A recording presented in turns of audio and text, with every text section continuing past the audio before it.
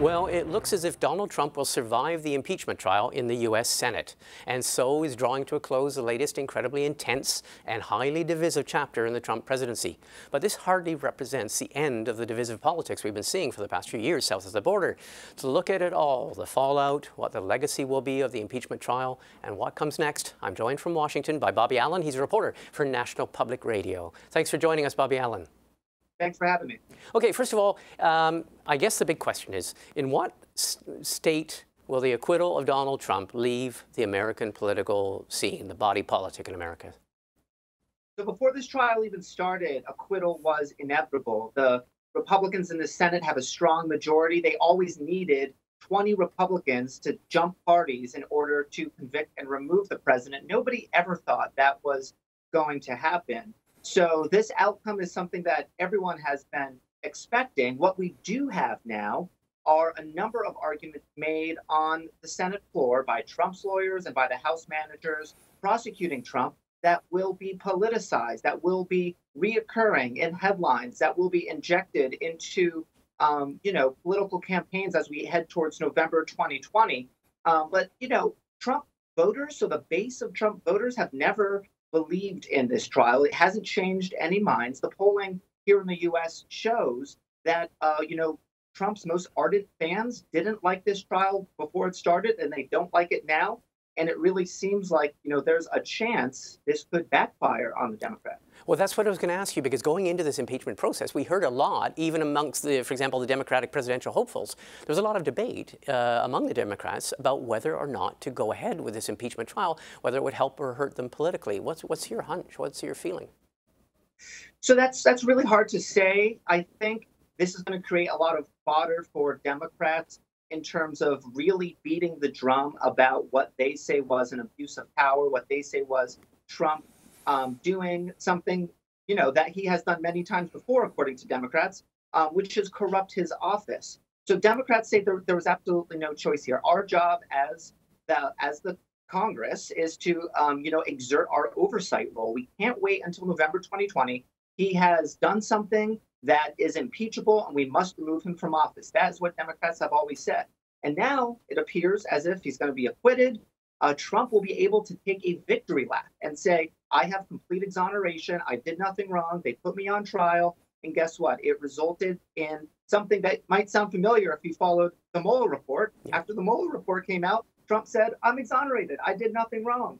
So this is really going to embolden Trump's base. And for Democrats, you know, they're going to have some talking points. They're going to be able to sort of emphasize more what they say is Trump's corruption. But I'm not convinced that it's going to give them the electoral momentum that they were hoping it would leading up to November 2020. And Republicans, obviously, the Republicans in Congress, they stuck with the president. They reject calling, uh, you know, additional witnesses. They voted down impeachment of a trial. Um, so are you saying that they may have made the right political decision? Because, I mean, we saw midterms where Republicans were dropping uh, and Democrats were on the up. But are you saying that uh, public opinion may be that they will gain from this, or mm-hmm. Republicans will gain from this?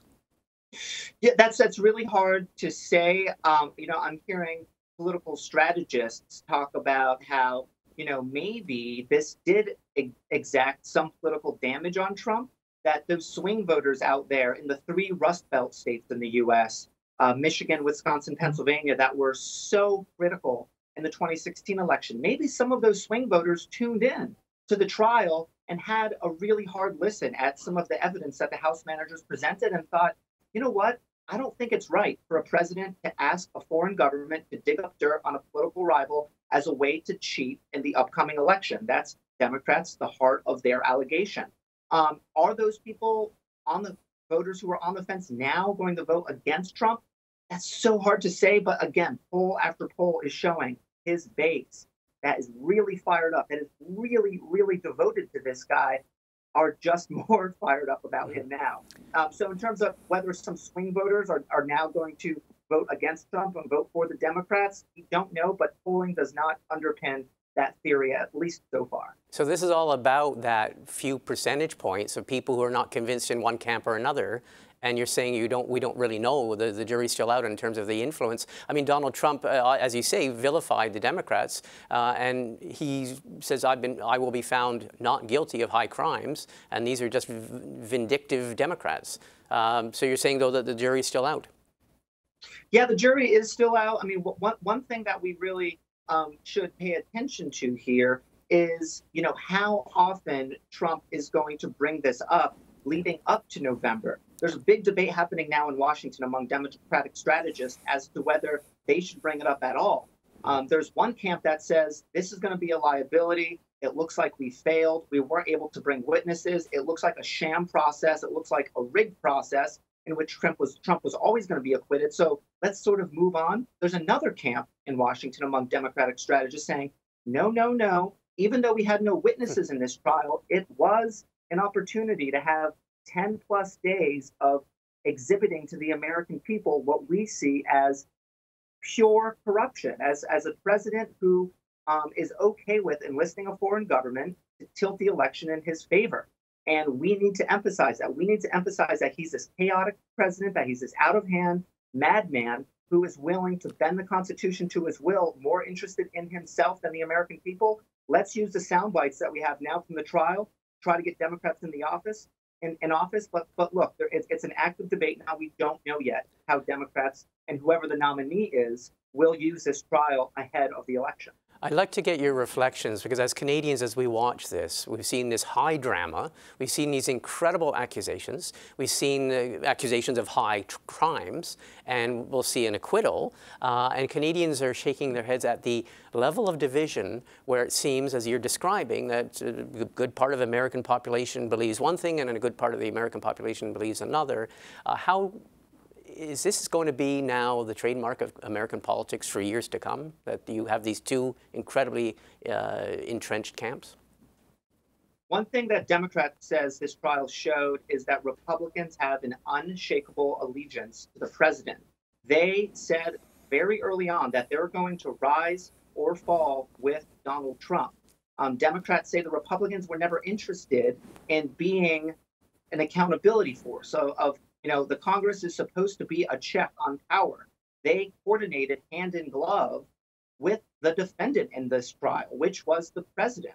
Um, so Democrats say this process was never fair. It was never going to give him a fair shake. It was always going to be rigged against him. And I think, you know, Republicans deep down, when you talk to them privately, some of them are mortified and are horrified by some of Trump's policies, some of his tweets, some of his personal attacks on his opponents but they know that it would be political suicide to cross him. So as long as as Trump remains their vehicle to get elected, they're going to stick with him, and the country's going to remain quite divided. I'm going to ask you something, maybe it's an unfair question, especially for someone who, you know, uh, is, is, is watching this day to day. But how healthy is the American body politic these days? It's a provocative question, and it's a hard one to answer. Um, you know, there's a lot of political scientists who are saying we're more divided than ever. Um, obviously, Fox News in the US does provide a story every day that is different than what the rest of the media is covering. Um, I actually had an interesting interaction recently that I think will illustrate um, sort of what you're saying. I was outside of the US Senate as the trial was going on, and there was a protester speaking to a counter protester, and they couldn't agree on a single thing. This counter protester was a Trump backer, and the very basic facts that aren't even in dispute about this Ukraine scandal with Trump, the counter protester, the Trump supporter, would not concede it. And that to me really, really highlights the problem here that Republicans and Democrats get different media, they consider different facts real, they are on completely different planets. I mean, the political landscape is, has been turned upside down it's it's it's really really remarkable, and I'm not sure how we're going to move beyond this um, because there is just everyone is, has so dug into their positions, and the Republicans are afraid to buck Trump. Just nobody has the spine to buck Trump because they're afraid they're going to pay the consequences of that come voting time. Well, Bobby Allyn, it's an interesting time, no doubt, for you to be there in Washington, and obviously as the whole world watches. I want to thank you very much for spending the time explaining it to us. Thanks a lot. Absolutely. Thanks for having me.